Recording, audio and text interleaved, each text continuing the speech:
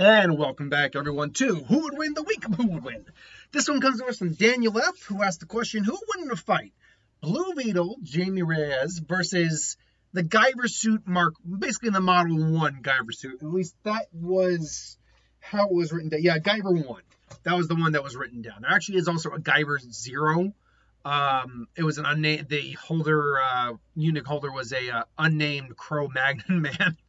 but uh, no, with the holder of the Guyver one was Sho Fukamachi, I believe is the name of the character. Uh, so the let's let's look at this because at first, no lie, I thought this was kind of going to be a stomp in Blue Beetle's favor. Uh, it's not that I'm not familiar with Guyver to whatever degree. It's just that Guyver doesn't come up very often on the channel, so my knowledge about Guyver was a little lacking at points that said, uh, so I refreshed myself on what the Guyver suit is capable of doing, and I gotta say, it's a lot closer of a match than you might think. The Guyver suit, essentially, uh, the human race in the Guyver universe was actually developed originally as a weapon.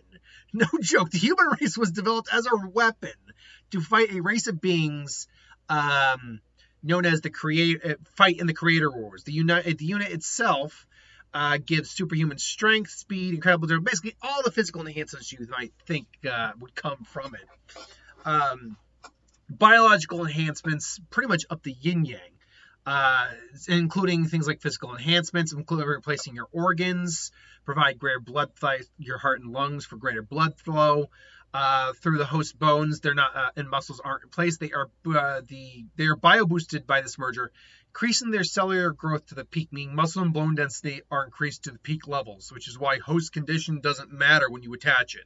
In essence, one of the things the Guyver suit does is amp you to your physical best as a human. Whatever the whatever your peak level of ability could be, that is exactly what it that is exactly what it does.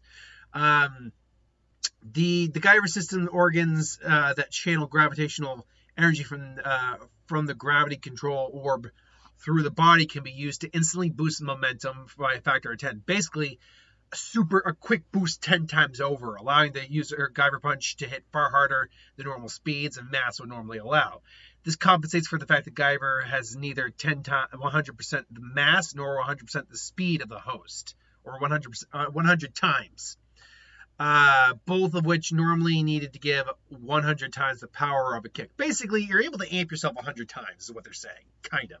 It's also an effective method of directly channeling energy into a physical attack. Uh, they have a Guyver suit where, by the way, the Guyver is essentially a bio, a techno-organic suit that attaches to you and is uh, is part of you at that point. The organism that composes the majority of the bio boosted armor is capable of repairing or growing any part of itself or a host at accelerated rate. So the extreme, so extreme is this ability that is able to completely regenerate Guyver 1 from only a few cells attached to the control metal. Even when only a part of the host survive, they can still regenerate into a fully independent organism, sometimes in the span of minutes.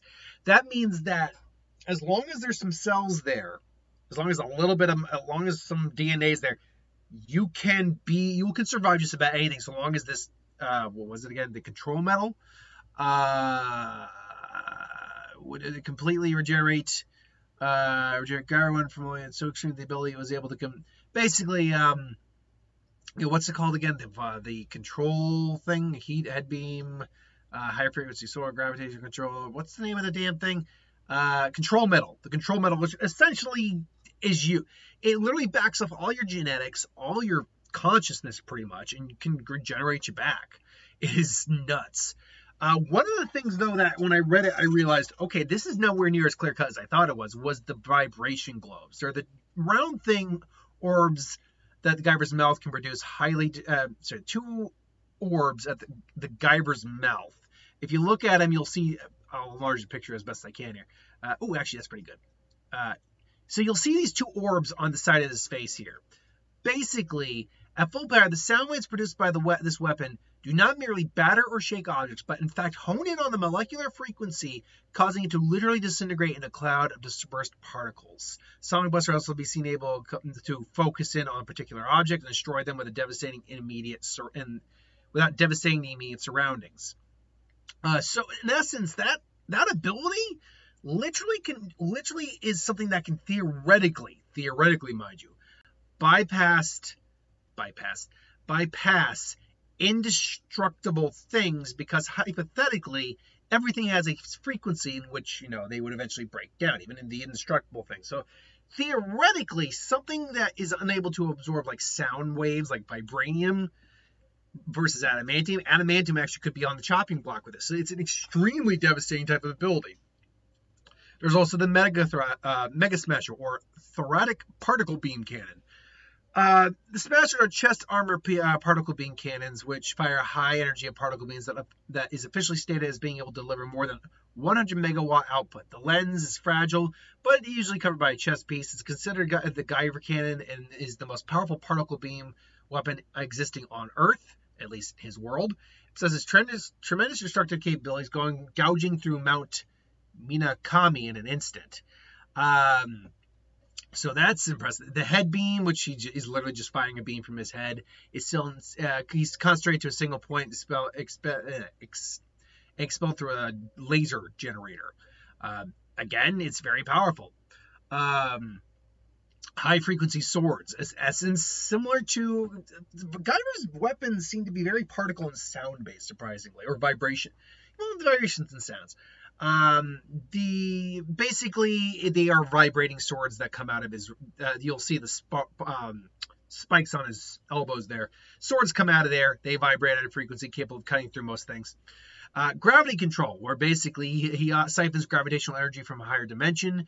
Two main uses include giving him the ability to fly and unleash destructive gravity of waves that are compressed into a circular shape and fired to form a gravity launcher. In essence, he's kind of creating a very small less powerful version of a black hole. Uh, pressure cannon, powerful gravity attack that concentrates high level of gravity. Within a single point between the palms, the gravity hands, the gravity is manipulated to form a compressed virtual black hole, as I just said. His head sensors allow him to sense the electromagnetic field around him. The control metal is essentially the orb on, in the center of his head. If that is destroyed, then yeah, it's pre- he is at SOL. He's pretty much destroyed there. And then Guyver's bio organs. During the joining with Guyver, the host body is changed permanently, uh, the Guyver leaves two growths on the back of the host that act as form as transceivers to the Guyver, who, while also being able to sense the Guyver's host nearby. That's neither here nor there. The point being is the Guyver is a is a very, I think, underappreciated, powerful biosuit. Like this is a suit that can get would give a lot of actual like more prominent comic characters hell, manga, anime characters, a lot more run for their money than probably uh, people might give credit for. And this is why I think he gets compared to, compared to the Blue Beetle Scarab, because the Blue Beetle Scarab pretty much does the exact same thing. It's a sentient. It's it's not organic per se. It's but it's, I guess it's a techno organic being. I I've never actually quite understood the Scarab um, lore. I think it is mostly tech, but there is organic components to it. In essence, though, what it does is it merges with a host, painfully maybe, uh, and you gain the Blue Beetle suit. Now, the suit can act independently. The Scarab can act independently from the host, but generally speaking, they are generally in, in sync. And Jaime Reyes is one of the most prominent users of the Scarab the Scarab, in essence, can kind of do just about anything you put your mind to. It is an automated defense system, meaning it can create countermeasures based off of aggression. It's capable of producing energy fields so powerful that the Flash can't phase through them. It can actually create freaking nukes, for God's sake. It's capable of creating energy blasts, energy swords, blades, shields, you name it, energy, it can pretty much do it. Uh, it's capable of hacking. It's literally hacked an entire reach, which was, I believe, the individuals who created the scarabs, uh, but it hacked their ship, an alien ship, and hacked it. Uh, also hacked into a bank just because it could.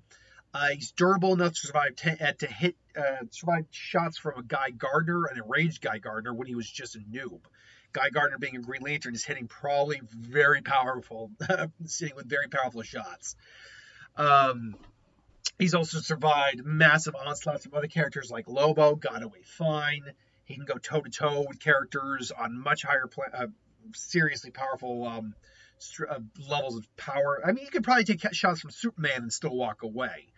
You wouldn't be able to beat Superman, which, to be, let me rephrase that. Physically, he can't beat Superman, but the Scarab can actually create like different forms of like you know radiation, light, energy, depending on what has available and what's going up against. Because it actually did at one point create kryptonite, green kryptonite, to weaken Supergirl in a fight. So Blue Beetle actually, theoretically, is capable of putting down Superman if he really wanted to. Um, so not, not only that, but it, again, it's as we kind of see a little bit in the movie, it, whatever he can kind of imagine, his the suit can create. So it's all up to his you know memories abilities plus he's also well versed in like son- sonic weapons are among one of the main things he creates which is another reason why he's probably compared now that being said the uh, the scarab does have a lot of like you know experience under its belt but the Guyver, whoever's wearing the Guyver suit usually is a much better combatant than Jaime. Jaime's Jaime has gotten better as the years have gone on, but he's certainly not um, uh, certainly not true like you know a, a insane hand-to-hand fighter. Uh, but yeah, in terms of like some of the speed feats, he's fast enough to appear in several places at once at the same time, fast enough to move to block energy attacks before they're fired. Sorry, after they're fired. Um, dodges a blast from Bombshell. The Scarab can travel faster than light and catch. He catched up with a dude falling. Uh, strength-wise, he's capable of like one-arming a truck, holding apart Giganta's fist, carrying a car with no problems, and punching Black Beetle into the ground. Uh, just to go again with the uh, durability and endurance, he survived a fall from orbit with no little unharmed, knocked out a reach soldier, soldier while severely injured and depowered, completely bulletproof, gets slammed through the ground, thrown into a car. He's telepathically resistant, uh, survives pain for hours of torture in a second and a half, survives an attack from a bloodlusted Guy Gardner, uh, gets smashed in the ground by Lobo and is okay, and takes some hits from a scared warrior with a Sinestro ring. Oh, should also note the um, what was the Starro feat with the five that I read with the five uh, five uh, Sinestro ring uh, yellow lantern rings. Hold on. Oh, that's right. Matches and repels Starro, who is amped by five different Sinestro Yellow Lantern Corps rings. So while I say this fight is closer than you might than I thought initially, I would even say Guyver actually has a perfect weapon to kill the Scarab and Jaime Reyes with the what was the name of it again? Uh, with the uh, what the with the vibration globes. If he can hit on to whatever the frequency is of the Scarab, he could destroy the Scarab. That said, Jaime Reyes is a the Blue Beetle is a beast, like a straight on beast in a fight. He's already faster because he can move. The Scarab can move at light speeds, and he can move so fast that there's multiple images of him. He's durable enough to survive shots from Superman, Guy Gardner, and freaking Sinestro Corps uh, Yellow Lanterns. So he's already got durability again on a higher level than Guyver. He can create nukes, which is a level of power. Guyver actually does kind of have that to a certain degree, but he can create nukes on the fly if he really wanted to. Um, not to mention that the but the Scarab can also is a thinking working computer. Is capable of or computer thinking organism and is capable of an, analyzing and creating countermeasures in an instant. Guyver is still is still while he's maybe enhanced is still thinking on his own, while Jaime and the Scarab are two separate entities working together. Now I think Guyver does have some edges on Jaime though. He's always got his consistent weaponry on call, whereas the Scarab might be trying to adapt and maybe isn't going to adapt uh, effectively enough. For example, those um, uh, those high frequency swords. I don't know the Scarab has a effective tool against it apart from an energy shield. So he might try to say block, and then Guyver just comes slices slices Reyes. Reyes blasts him back. They're going toe to. He's firing gravity, basically little black holes. At Scarab is like you can't necessarily compensate immediately for it.